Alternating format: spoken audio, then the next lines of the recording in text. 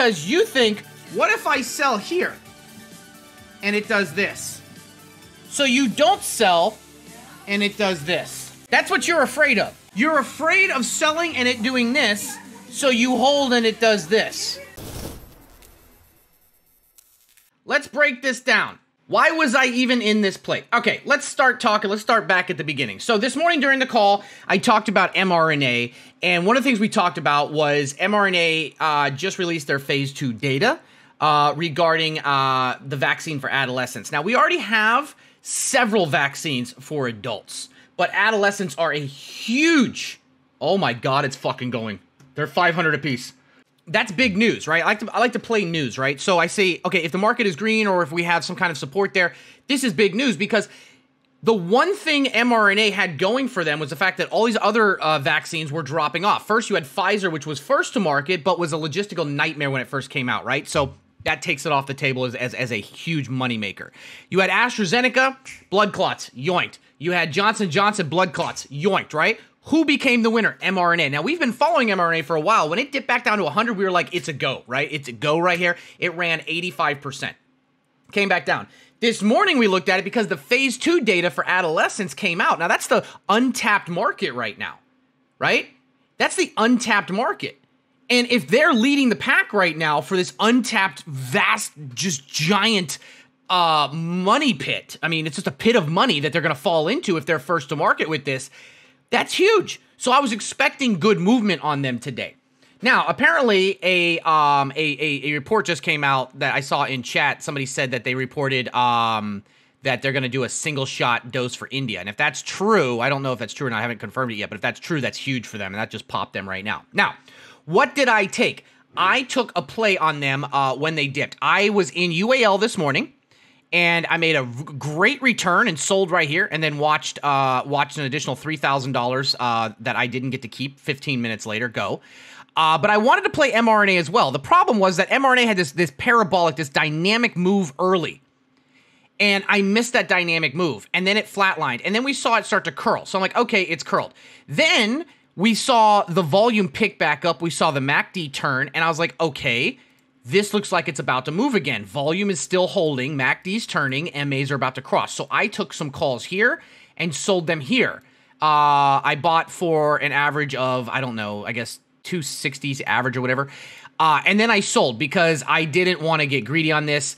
Uh, and then now because the news dropped after I sold, it just skyrocketed. And because that implied volatility moved up, those same contracts that I sold for $360 a piece just went to $500 a piece. I had 35 contracts. So in a matter of 30 minutes, you can do the math 35 times uh, 140, and you'll know how much I missed out on. But I made money on UAL and then flipped it to Disney and made money and then flipped it to mRNA and made money. So there's not any problems there. It's not like I'm hurting. It's just these guys love to see it every single day. It's the same thing. I find the big winners, I get in them, I make my profit, and then it skyrockets. But it does that for a couple reasons. One, you want to be in a play that skyrockets because that means you pick the right play. But more importantly, it's about taking your profits when you have them and walking away with those profits because let me tell you something. The one time you do stay in is the time that um is the time that uh, it, uh, it, it it it falls.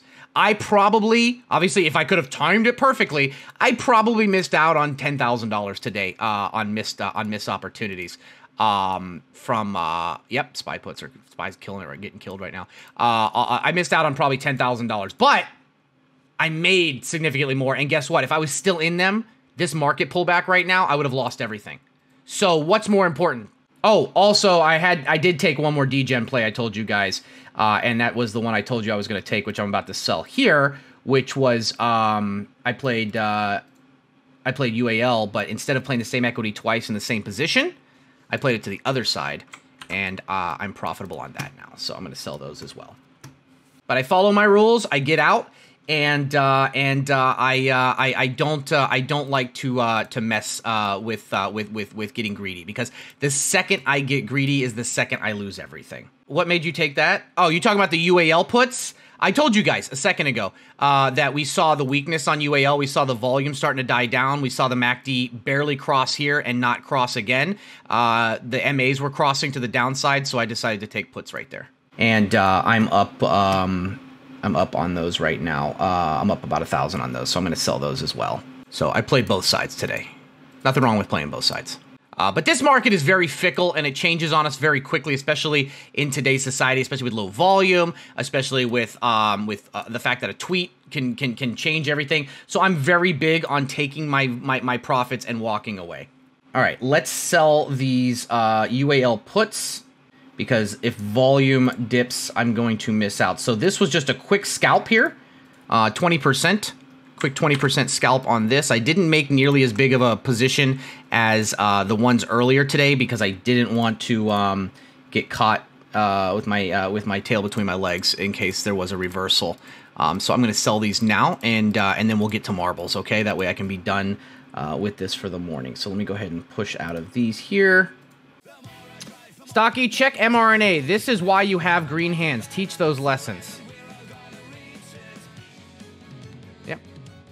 If I would have held my UAL calls, I mean, obviously if I sold them at the top, it would have been great. But if I would have held them, I'd be, I'd be red right now. If I held my Disney calls, I'd be red right now. And if I held my mRNA calls, I'd be red right now. If I held my UAL puts, I'd have more money right now. But who knows when it reverses. Yeah, I had a red day yesterday. I made a bad, bad, bad uh, mistake yesterday. I broke my own rules yesterday like an idiot. Wow, UAL is going to fall even more, huh? But that's okay. Make your money and move on. Let the other people have to sweat. Let me put you let me put it to you this way. If you don't know if you should sell something, um what did I have? I had $58 puts. They're at what? I just sold at 71. They, they can't be up that much more right now. They're fuck, they're at 75. How many contracts did I have? 95 and now they're at 76. God damn it. All right, so right here, guys, uh, that sell because it's so dynamic on these options. Uh, any any type, if this does do a mini reversal, it'll automatically give up all the gains, and that is why you have to have to have to have to have to have to stick to your position and get out. Um, and don't focus on chasing because in options, especially, um, it can change on a dime.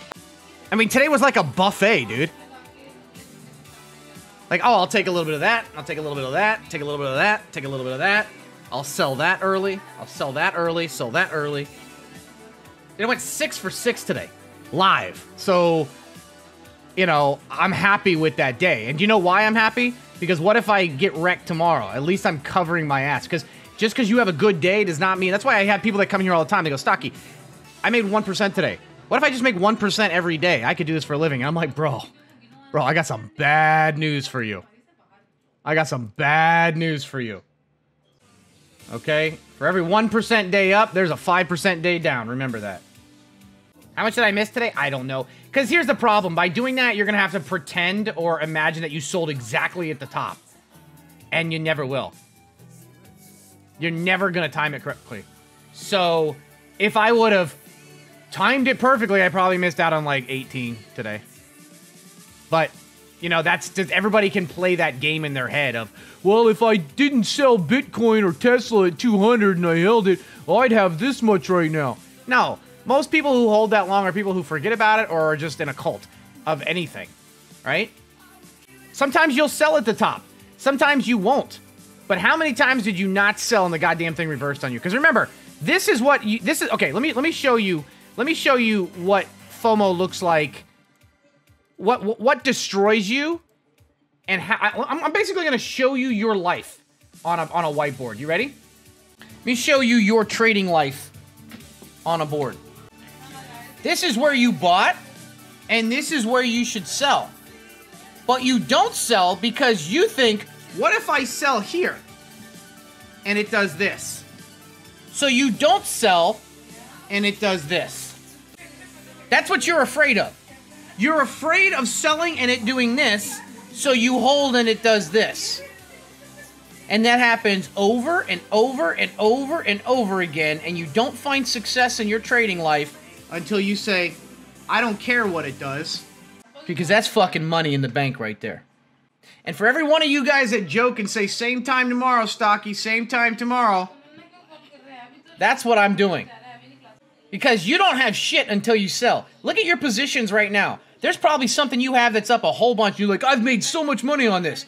You ain't sold it. You ain't made shit. So when you guys go same time tomorrow, I'm doing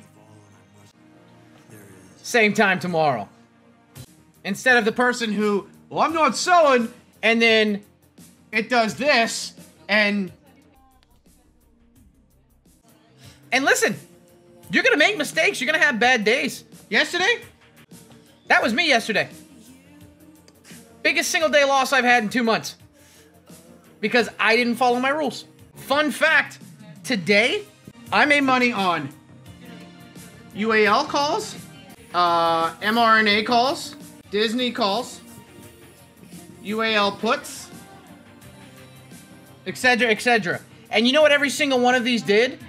They went up more after I sold. But you know what else they did later on?